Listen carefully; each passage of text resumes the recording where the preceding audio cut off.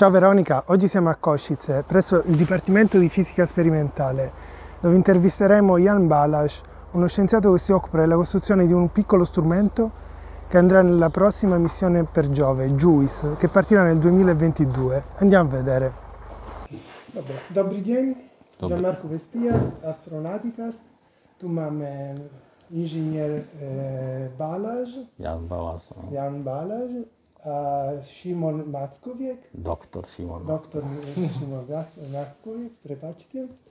E, tu sme v ústave e, experimentovanej fyziky a tu sa vyrába vlastne jeden, jeden.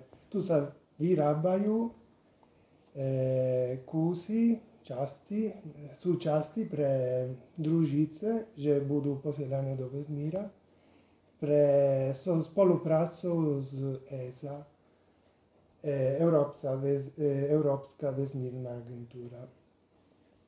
Inžinier Baláž e, teraz pracuje na veľa projektov a pracuje aj pre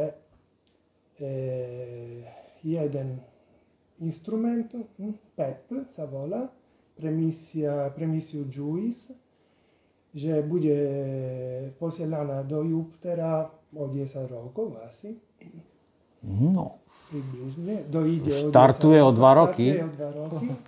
ale o, o, o Ale 10 doletí. Robí pre tento instrument sa volá PEP. Môžete nám povedať niečo viac, čo robí tento PEP instrument? Tak PEP je súbor viacerých prístrojov. Je to taký komplex na detekciu plazmy a častíc, dá sa povedať častíc, aj nabitých, aj neutrálnych. A má 6 senzorov. A ako vedúci, vedúca inštitúcia pri vývoji toho PEP je vlastne Švédsky ústav kozmickej fyziky v Kirune. A prispievajú do tejto aparatúry mnohé inštitúcie z Európy aj z Ameriky. Aj z e, tento Applied Physics Laboratory John Hopkins University, tam dodávajú dva senzory a ďalšie štyri sú európske. No a jeden z tých senzorov sa volá e, JDC, to znamená Jupiter e, Plasma Dynamics and Composition, čiže je to analyzátor plazmy okolo Jupitera, ktorý analýzuje e, plazmu, čiže aj, aj energetické, aj smerové ako roz, rozloženie tej plazmy a zloženie takisto, že z akých častíc sa tá plazma skladá. No a tento senzor pracuje s takou pomerne zložitou ionovou optikou, ale tí kolegovia vo Švedsku vlastne zistili pri simuláciách, že Jupiter, pretože má veľmi silné magnetické pole, tak má aj veľmi silné radiačné pásy. Zónu zachytenej radiácie je tam množstvo elektrónov vysokej energie a tie elektróny sú schopné prenikať cez ten prístroj, cez ten senzorový systém a pritom vyvolávajú také falošné eventy. Akože ne, ne, nevedelo by sa rozlíšiť, že či to je častica, ktorá prešla takou pomerne zložitou ionovou optikou a nakoniec dopadla na tie citlivé senzory, alebo či to sú vlastne odozvy od tých vysokoenergetických elektrónov. Preto bolo prijaté také riešenie, že sa tam inštaluje ešte antikoincidenčný detektor do tej ionovej optiky. Je to polovodičový detektor e, nabitých elektrických častíc, e, nabitých energetických častíc, pardon.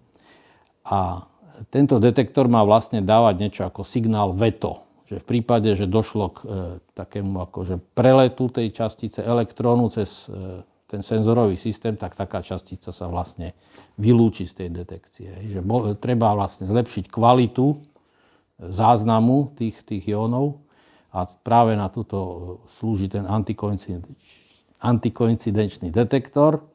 No a my vlastne dodávame ten polovodičový detektor a elektroniku na spracovanie signálu z tohto detektora, čiže tam je ešte nabojocitlivý zosilňovač, tvarovací zosilňovač, diskriminátor. A my už vlastne dávame logický signál pre, tú, pre ten mikropočítač toho prístroja, že vlastne došlo k takejto udalosti. Dobre.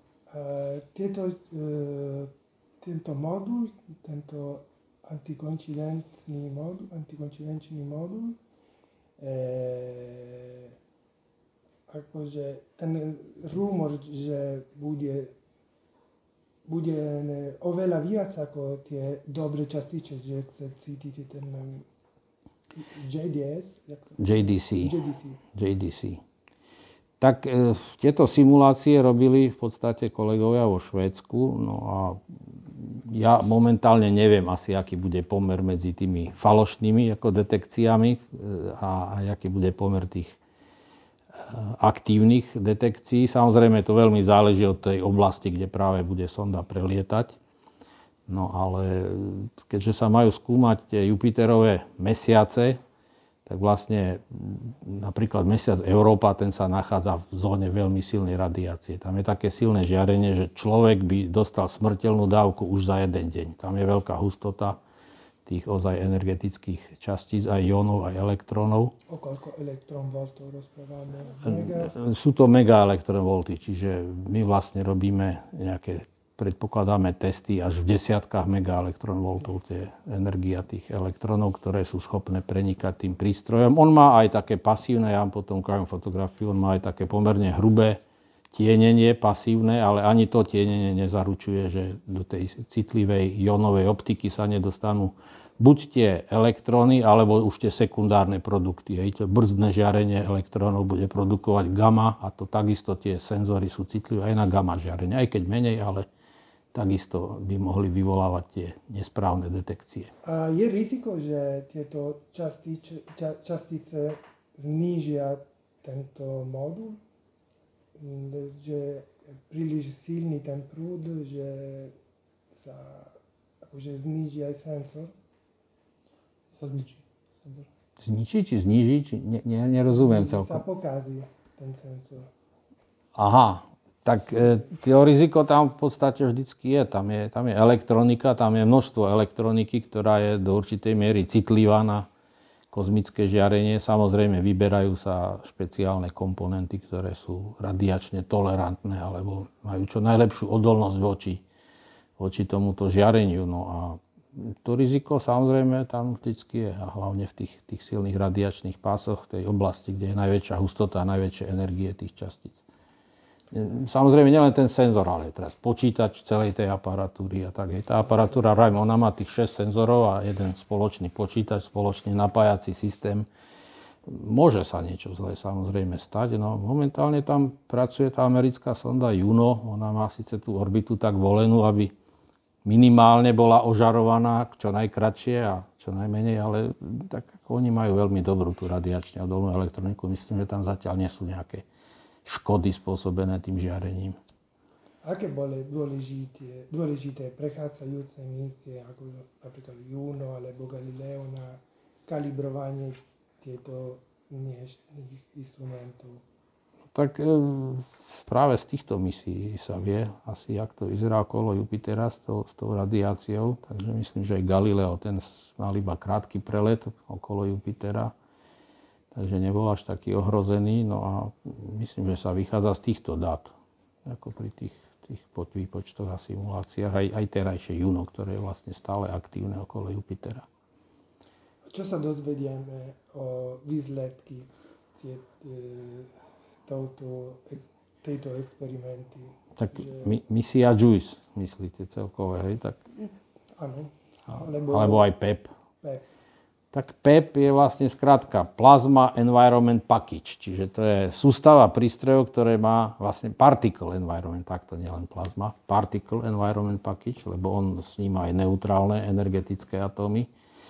No tak e, ako vôbec, je to základný výskum, čiže sa skúma to prostredie okolo Jupitera, aké je. No tak e, Neplánuje sa tam nejaká momentálne výprava s ľudskou posádkou, lebo tá by bola aj dosť ohrozená tým žiarením, no ale tak budú aj ďalšie sondy, tam e, Američania dokonca robia podobnú, jednu sondu Clipper sa volá. Je možné, že ona ešte aj predbehne JUICE, záleží od toho, akú nosnú raketu na to zoženú, silnú. Pretože JUICE takisto bude potrebovať gravitačné asistencie, aby sa dostal k Jupiteru a to dosť dlho trvá, mal by leteť 8 rokov ale Američania s tým kliperom môžu Juice aj predbehnúť. A oni sa ale zameriavajú na mesiac Európa. Ten je celý pokrytý ľadom.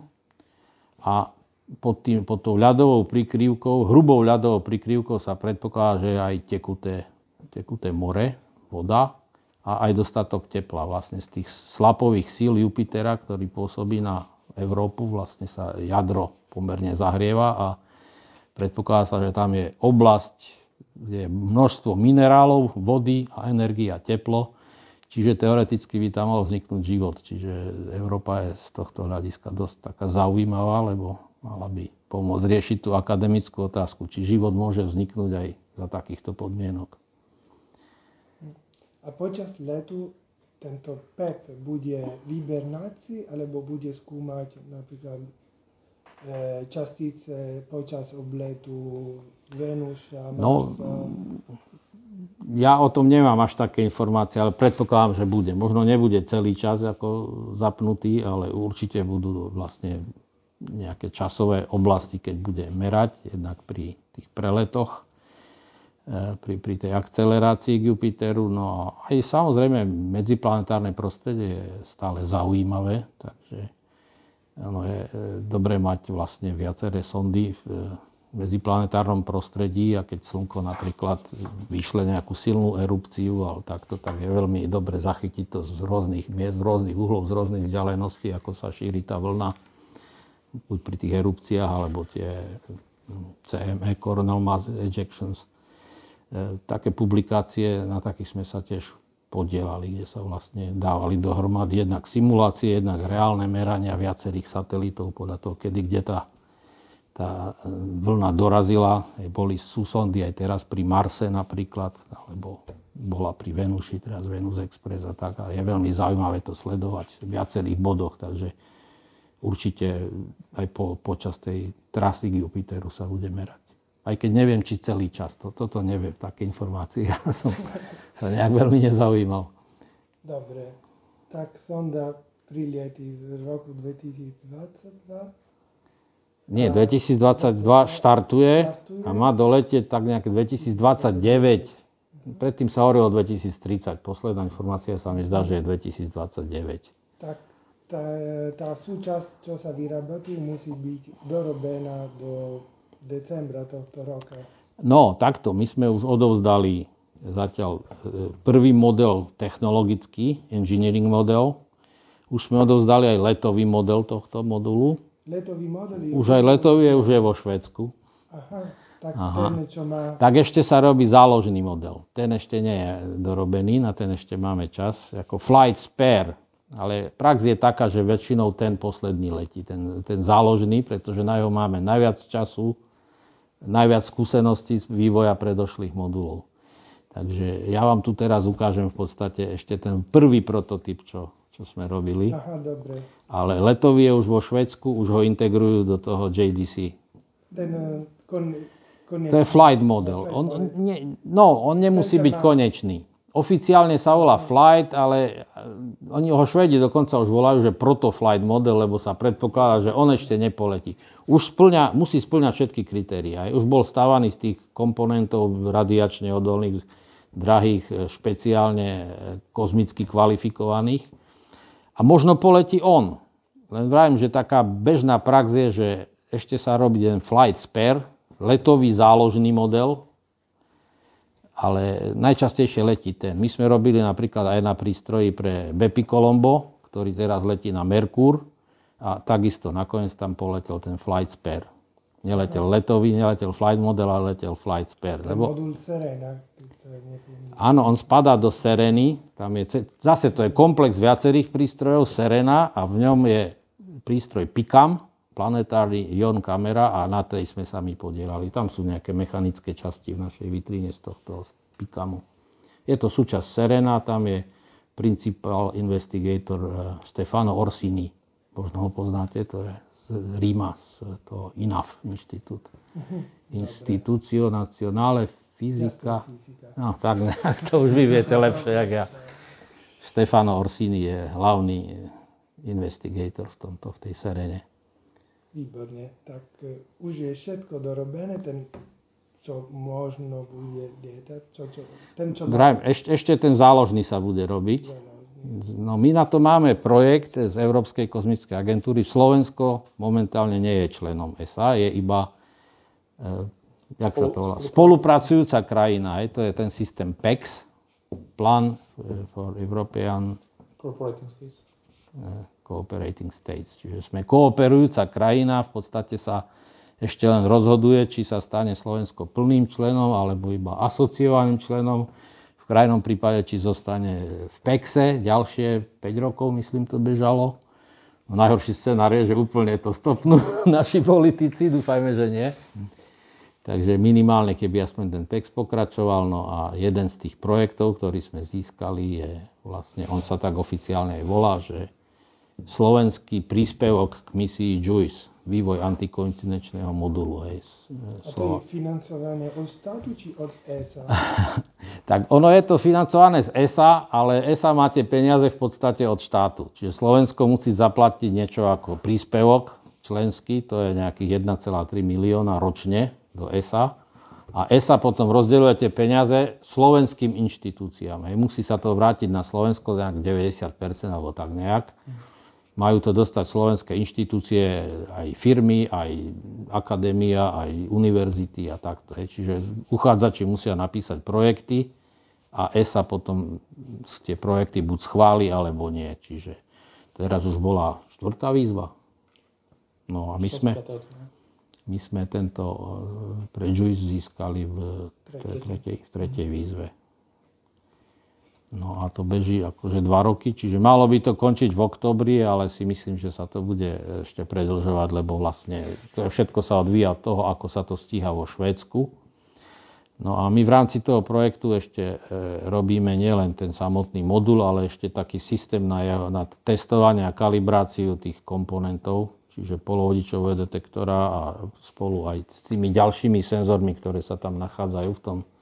Tam sa nachádzajú ešte tzv kanaltróny elektronové, zosilňovače alebo detektory a potom ešte MCP. To je tzv. jak sa to volá, mul... MCP plate. Používa sa to aj v teda zosilňovačoch obrazu. Mikro, micro channel plate, mi, mikrokanálový násobič. To sú to hlavné senzory toho JDC. No a my vlastne dodávame ten polovodičový detektor pre, pre ten, ten antikoincidenčný polovodičový. No a tí, tí Švedi, ten švedský ústav kozmických výskumov, oni majú veľmi bohaté skúsenosti, hlavne s tými ionovými optikami a s tými MCP a kanáltronmi a tak. Oni posielali prístroje na Mars, na Venušu, na, na kométu, na rozetu, tam sme aj my prispeli, ale v inej spolupráci. No ale oni nemali až to, tak veľa skúseností s tými polovodičovými detektormi, ale keďže my sme s nimi už spolupracovali tam na tom dolnom prístroji, to je Nuadu, on letal na čínskom satelite, tak oni už vedeli, že my máme skúsenosti s polovodičovými detektormi, tak nás oslovili, že či by sme nedodali pre ten JDC senzor aj polovodičový detektor, ten antikoincidenčný. Ten antikoincidenčný funguje len pre jeden senzor ostatní 5 senzorov majú vlastný... Priznám sa, že s tým som sa nezaoberal. E, samozrejme, opis, opis všetkých prístrojov toho PEPu sú tam, sú aj detektory neutrálnych atómov, aj no, viacerých pre vysoké energie, pre nízke, stredné energie. Proste Particle Environment Package, čiže sa sleduje to časticové prostredie. Aj nabité, aj neutrálne častice. Od veľmi malých energií až po vysoké energie. No a ešte som nespomenul, že to možno viete, že ten JUICE má lietať okolo Jupitera asi 1,5 roka. Pritom bude míňať iba tie zaujímavé planéty 3, e, Európa, Ganymed, Kalisto. Ale na, ešte na pol roka na záver misie sa má zachytiť na e, orbite okolo Ganymeda. Čiže sa stane orbiterom Ganymeda a bude podrobnejšie skúmať mesiac Ganymedes. To je najväčší mesiac v slnečnej sústave. Aj on by mal mať dosť podpovrchovej vody. On zase nie je tak pokrytý ako Európa tým ľadovým oceánom, ale vie sa, že tam je dosť veľa podpovrchovej vody, takže takisto je to kandidát na možný nejaký život. Určite nie na povrchu, tam je taká radiácia na povrchu, že tam všetko živé vlastne zrejme zhynie, ale hlboko. To vlastne sa dajú aj vidieť aurory v z teleskopu. Áno, a teraz z tej Európy zase boli zaregistrované nejaké ako gejzíry, výtrysky, čiže sa predpokladá, že tá ľadová vrstva sem tam sú nejaké praskliny a ten teplý oceán znútra a to slapové trenie, tá energia, že to vytryskáva. To už myslím zachytila aj sonda Galileo a možno aj Hubbleov teleskop už čo si také videl ako nejaké také výpary, že vychádzajú z tej Európy. Dobre, tak v rámci tretej výzve od ESA je JUICE, tento PPACM modul a je aj e, Space Lab, mm-hmm. že je projekt na rozšírenie vedy v rámci e, na celom Slovenskom múzeumi. A na to sa zaoberá doktor. Áno, áno, presne tak, že v podstate celkovo nám sa podarilo získať 4, 5 projekty. Vlastne v rámci prvej výzvy sme mali taký prípravný projekt a v rámci druhej výzvy som taký pokračujúci projekt a konkrétne na vývoj detektora, ktorý by monitoroval hornú časť atmosféry Zeme, to je konkrétne Airglow a jeho žiarenie. No ale v podstate si uvedomujeme, že ak chceme pokračovať v týchto vedeckých projektoch, potrebujeme získať aj mladých ľudí, ktorí by nám mohli s tým pomôcť a ktorí boli do toho zapojení. Preto sme pripravili aj takýto edukačný projekt, ktorý voláme Space Lab. A ten je zameraný na to, aby sme jednak tých mladých ľudí mohli osloviť, aby sme ich akože mohli zaujať a mohli sa dozvedieť o, o projektoch, ktorým sa tu venujeme. Ďalej vlastne sa mm, snažíme ich vzdelávať, týchto mladých ľudí, a to pomocou takých pravidelných meetupov, ktoré máme každý mesiac tu vo vedľajšej budove že kde, kde sú prednášky na rôzne témy týkajúce sa vesmíru. Tie volám, tieto meetupy sa volajú Space Talk. A takisto aj raz do roka máme letnú školu pre ľudí, ktorí zaujíma vesmír a je to skôr smerované na ľudí, ktorí sú z IT oblasti, čiže vlastne také prepojenie IT a space technológií. No a všetko to má smerovať tak k tomu... pre ktoré študenti? Do... Skôr pre vysokoškolákov, aj mladých pracujúcich. No a vlastne všetko to má potom smerovať ku zapojeniu tých ľudí, ktorých naozaj zaujímujú tieto aktivity, aby mohli sa až zapojiť do našich projektov. A na to máme takú súťaž pre študentov, sa volá Space Project. A tam študenti navrhnú taký vlastný projekt, ako chcú lepšie porozumieť vesmíru. A my potom z týchto projektov vyberieme tých najlepších študentov a tí získajú platenú stáž mesačnú, ako tuto u nás v Labe, že môžu priamo s nami spolupracovať. Minulý rok takto 4 študenti absolvovali tieto stáže a myslím, že to bolo naozaj veľmi zaujímavé. Aj niektorí študenti ešte pokračujú v, bakalár, v diplomových prácach, alebo tiež mám jedného študenta, ktorý v bakalárskej práci pokračuje ďalej v tom projekte, ktorý začal. Tak tento projekt má úspech. Je súčasť, študenti majú záujem a prídu sa Áno, áno, sme radi, že celkovo študenti majú záujem o to, aj na tie mm, meetupy Space Talk, v podstate je tá kapacita miestnosti takmer stále zaplnená. Sme veľmi radi, že aj ľudia tuto z Košic aj okolia, že prídu si vypočuť tieto prednášky a že je tam veľmi taká dobrá atmosféra, že sa ľudia pýtajú a že je to myslím, že naozaj zaujímavé pre nich. A majú možnosť vybrať si kariéru tu na Slovensku ktorá, um, ktorý ústav len túto majú mm-hmm. možnosť, či je nejaká fakulta? Hey, to, to, toto je zaujímavá, zaujímavá téma, pretože na, na Slovensku v podstate akože fungujú um, v podstate veľké množstvo planetárií alebo krúžkov, ktoré sa snažia zaujať deti už od, od škôlky alebo od škôl a potom vlastne v tej, tej časti tej vysokej škôl alebo mladých pracujúcich tam v podstate bola trošku taká medzera, preto my sme sa snažili to cieliť tie naše projekty práve na, na, na týchto mladých ľudí. A čo je ďalšia vec, že to, ako by mohli byť títo mladí ľudia zapojení, tak majú možnosť buď na Akadémii vied, alebo na univerzitách, či už na prírodovedeckej fakulte v Košiciach, alebo na Fakulte matematiky, fyziky a informatiky v Bratislave ale takisto aj na technických univerzitách, či už tu v Košiciach alebo v Bratislave. Ale práve aj tým, že Slovensko sa snaží spolupracovať s ESO a že perspektívne sú tu nejaké ďalšie možnosti, kde by mohli vznikať nové pracovné príležitosti. bude, buď už v zahraničí, alebo aj priamo na Slovensku, lebo o co sa aj v podstate snažia tie súkromné firmy, aby sa dostali do tejto domény, space domény, aby mohli v tejto oblasti pracovať. Čiže my sa tiež snažíme vytvárať tak, tak nejaký priestor, aby a mladí ľudia mohli vidieť, že tá space téma nie je nič, o čom môžu sa nejak vzdelávať, ale na, naozaj môžu aj na tom pracovať. Preto jedna z takých aktivít, ktorú chystáme tento rok je Space Hackathon. Neviem, či ste to zachytili. Bude to na konci apríla. Bude v celej Európe. Áno, bude to v celej Európe, vlastne bude to aj u nás na Slovensku, že chceli sme to aj to priniesť do Košic, aby vlastne ľudia sa mohli zoznámiť s týmito technológiami, ktoré sú bežne dostupné, ale možno ani netušia, že niečo takéto môžu využívať alebo na niečom takomto môžu pracovať.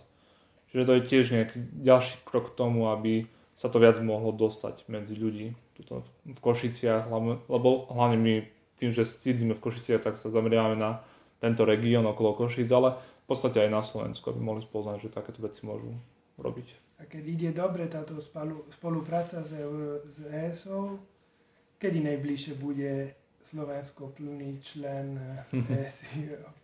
5 rokov viac, nie. To my si netrúfame odhadovať, lebo no, však ste na Slovensku, tak vidíte, aké je tu veda, výskum podporovaná, takže uvidíme. No, teraz budú nové voľby, či sa to zlepší nejak, tá podpora, podpora vedy. No. To je skôr aj aplikovaná veda, je niečo dobré aj pre firmy, že spolupracujú Áno, tak tá ESA dosť tak ako zdôrazňuje, že priemysel firmy by sa mali zapájať do týchto kozmických aktivít, no my sa už nejak zvezieme ako veda výskum, hej, lebo mm. nie všetky misie ESA sú len výskumné, ale sú tam aj takéto, že komerčne zaujímavé veci. No, v podstate, čo existuje nejaká koncepcia a, vlastne vesmírnych aktivít na Slovensku, tak tam sa uvažuje o troch scenároch, ako by mohlo byť Slovensko zapojené do ESA. A Jano ich už spomenul, že buď by sme boli ďalej ako ten spolupracujúci štát v PEXE, alebo by sme sa stali asociačný štát, ako napríklad Slovensko, Slovinsko išlo touto mhm. cestou, že je vlastne asociačný štát, alebo potom plný člen, ale na to, aby sme boli plný člen, tak musí to byť naozaj veľmi, mm, musí byť viacero firiem, a hlavne v tom priemysle musí byť, také väčšie zastúpenie, aby sme boli schopní konkurovať tým zahraničným inštitúciám. Tak bude aj nejaké sídlo Slovenskej vesmírnej agentúry? to, Keď bude, bude v Bratislave zrejme. To ťažko povedať, ale napríklad minulý týždeň sme sa stretli s kolegami z Čiech v Prahe a tam v podstate oni sú viac ako 10 rokov plní členovia a myslím, že oni nemajú žiadnu českú vesmírnu agentúru alebo niečo také. No, majú Česká kozmická kancelář, to je mm. jedna, a druhé je pri ministerstve dopravy nejaká, nejaký, nejaké oddelenie. No a trošku sa tak aj tuším naťahujú, alebo v minulosti sa dosť ako dohadovali, že kto je tu šéf. Hej, ale že v podstate tiež je to také rozdrobené, že nie je tam akože presne, že toto je jedna agentúra, ktorá zastrešuje komplet všetko. Čiže možno ani na Slovensku neznikne takáto jednotná agentúra, že možno, že to bude rozdelené na viaceré organizácie. A to, to v podstate my ako výskumníci nevieme ovplyvniť, hej, to je skôr vecou... Momentálne je to všetko v gestii ministerstva školstva, ale oni sami sa dováhajú toho, že to je nadrezortný problém, takže nie aby to ťahalo všetko ministerstvo školstva, lebo ono na to nemá ani rozpočet a takto, takže no nevieme, to sa, to sa pečie v Bratislave, toto vlastne. Mhm. Dobre, síce Slovensko je malá krajina, ale už má dlhú tradíciu kozmickú. Tak my, my už sme 50 rokov v podstate robíme do vesmíru. Už na tých ruských satelitoch od roku 1970 už, už nejaké veci lietali z Košic. Dobry. Tak, dziękujemy doktorowi Mackowiekowi, mhm. a inżynierowi y, Balażowi. Mhm.